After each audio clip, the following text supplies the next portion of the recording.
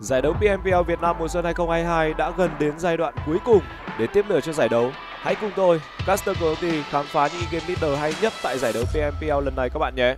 Người đầu tiên góp mặt trong danh sách lần này không ai khác chính là Thành Rabbit, thủ quân của Dingo Xavier, là người có kinh nghiệm thi đấu cũng như thành tích nhiều bậc nhất tại Việt Nam. Anh cả của Dingo Xavier luôn được đánh giá là một trong những game leader hay nhất thế giới, vừa là scout, vừa là quân chính của đội. Nhiệm vụ của Rabit là cực kỳ quan trọng trong đội hình vì những thông tin anh đem về sẽ lại là bàn đạp giúp cho đồng đội của mình có được những lợi thế nhất định trong giao tranh. Kể cả khi đã bị đóng hòm thì thỏ con cũng vẫn còn chơi được ở vị trí phù hộ. Côn tim vẫn cứ là uy tín.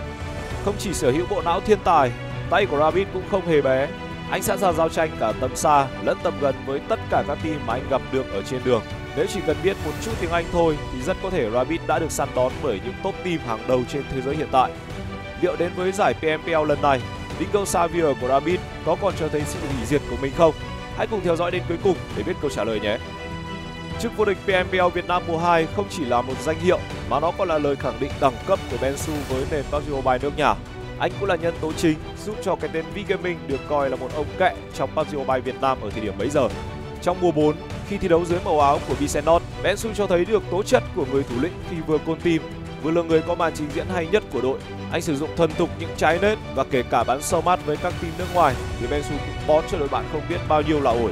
Tuy không còn ở độ tuổi 9 của sự nghiệp, nhưng nhờ vào kinh nghiệm thi đấu lâu năm, anh luôn cho thấy được sự chắc chắn của mình trong từng bước di chuyển. Anh sẽ cố gắng né giao tranh nhiều nhất có thể để tránh gây bất lợi cho team. Cùng với đó là sử dụng những trái nết để ép góc cũng như mở đường cho đồng đội lao lên.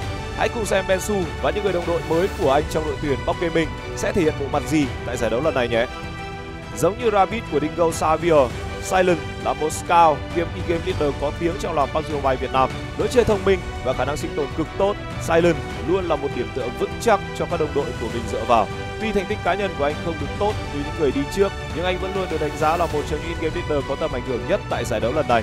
Không phải ngẫu nhiên mà Bảo Nam United dù mới nổi lên từ ở những năm 2021 đã được nhiều người đánh giá là một trong những team mạnh nhất của Việt Nam hiện tại và công rất lớn thuộc về bộ não của họ, Silent. Với việc sử dụng thuần thục khẩu UMP, Silent luôn là người đi đầu trong những cuộc combat và lấy thông tin cho đội.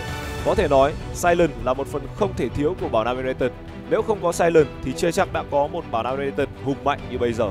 Còn in-game leader nào nữa mà các bạn ưa thích tại giải đấu lần này? Hãy để lại bình luận ở phía dưới nhé. Tôi là Caster Coyote. Hẹn gặp lại các bạn tại livestream của giải đấu PMPL Việt Nam mùa xuân 2022 trên các kênh sóng của PUBG Mobile Esports Việt Nam.